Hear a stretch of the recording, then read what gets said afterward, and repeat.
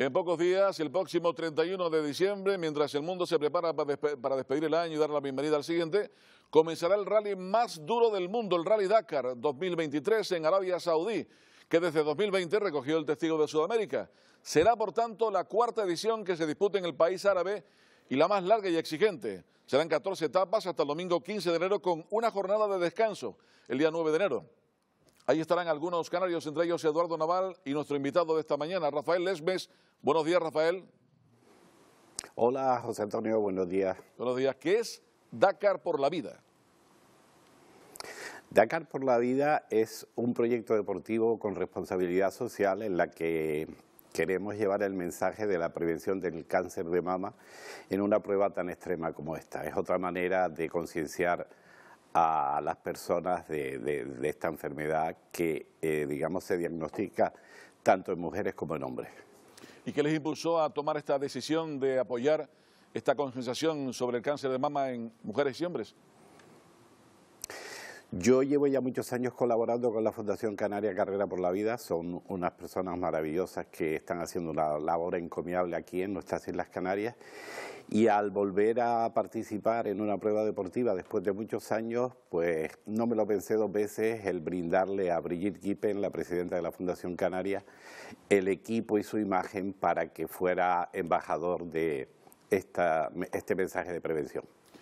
Y una cosa importante, hace unos días entrevistábamos a Pedro Peñeta y una expedición canaria eh, que va también al Rally Dakar. ¿Tienen algo que ver o son dos equipos totalmente distintos? No, no, todo lo contrario. Pedro, Pedro y yo estamos en una misma estructura, pero efectivamente somos dos equipos independientes que eh, utilizamos las sinergias de una estructura común para abaratar costes y ayudarnos. Somos una expedición canaria. Tú eres el piloto, Rafael Lesmes, y contigo estará Eduardo Naval, que además tiene experiencia eh, con las motos, especialmente en el Rally Dakar. Eh, ¿Es la primera vez que van a competir juntos o ya lo han hecho en otras ocasiones? No, no, lo hemos hecho en otras ocasiones. Eh, ahora en la imagen que estás viendo es en 2007, cuando participamos y terminamos en el Lago Rosa. Y Eduardo siempre ha sido el copiloto y navegante del equipo, como bien has dicho, es la persona que más Dakar, eh, digamos, ha realizado en Canarias. Eh, terminó en moto en 2005, siendo el primer canario también, y es un excelente navegante. O sea, es la persona idónea de Tenerife y yo de Gran Canaria para, para este proyecto 100% canario. Cuéntanos, Rafael, ¿cómo será eh, este Rally Dakar que vuelve a, pues, a recorrer el desierto de Arabia Saudí? Yo estoy muy ilusionado. Yo tuve que dejar de competir en 2008 por problemas económicos, la, crisis me afectó mucho y también porque el, digamos, el, el, irse el Dakar al continente sudamericano pasó a ser más competición pura y dura, velocidad, que, que lo que ahora ha vuelto en Arabia Saudí, que ya es una carrera extrema, durísima, pero con mucha estrategia, navegación, dunas, desierto, que es lo que a Eduardo y a mí se nos da muy bien y que mm, hay que decir claramente que es una ruta peligrosa, aunque ustedes estarán lógicamente preparados para ello. Sí, sí, sí, eh, somos conscientes de que es una prueba extrema que, desgraciadamente eh, puede, puede fallecer alguien, de hecho sucede sobre todo en el, con los moteros, pero bueno, también asumimos la experiencia que tenemos, el saber rodar y, y obviamente intentar hacerlo lo mejor posible sin cometer fallos o errores que son los que llevan a un accidente.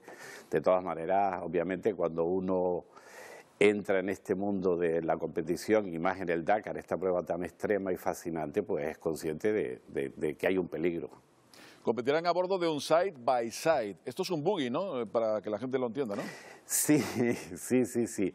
Es un buggy, es una nueva categoría que, que, se ha puesto de moda porque los costes son bastante ajustados y después es una maravilla para surfear las olas. O sea, es brutal. Estuvimos entrenando Eduardo y yo en Marruecos una semana y es impresionante, José Antonio, cómo este vehículo es capaz de surfear las dunas como si estuviéramos, yo que sé, yendo por la Tenerife 1 o por la Gran Canaria 2.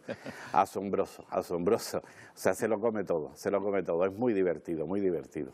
Y un detalle importante, ¿cómo se prepara uno, no solamente a nivel mental, sino físico, para una prueba como esta que dura tantos días, desde el 31 de, de diciembre hasta el 15 de enero? Sobre todo hacemos mucha, mucha dosificación, o sea, mucho cardio y, creo que ya tanto Eduardo como yo somos mayores, estamos muy experimentados y lo que hacemos es eso, dosificarnos bien e intentar siempre ir un paso por delante de lo que va viniendo. Por otro lado, es, es, cuestión de, como tú dices, de preparación física, pero sobre todo mental. Lo que, lo, que, lo que más se viene abajo es la cabeza. Pues Rafael, te deseamos la mejor de las suertes eh, en, este, en esta prueba que, como digo, comienza el 31 de diciembre. ¿Solamente cuándo viajas? El 27, el 27 salimos para, para Madrid, eh, yo desde Gran Canaria, Eduardo desde Tenerife y ya en un vuelo de Madrid directamente a Arabia Saudí. Pues mucha suerte, muchos éxitos en el Rally Dakar y en este proyecto, Dakar por la vida. Gracias. Muchas gracias, José Antonio. Muchas gracias y un saludo a todos.